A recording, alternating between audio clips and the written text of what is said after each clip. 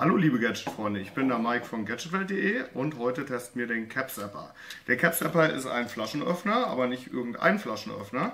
Nachdem die Flasche offen ist, könnt ihr hier mit die Kronkorken schießen. Dazu spannt ihr das Ding einmal, öffnet die Flasche und dann drückt ihr hier aufs Knöpfchen und der Kronkorken macht einen Abgang.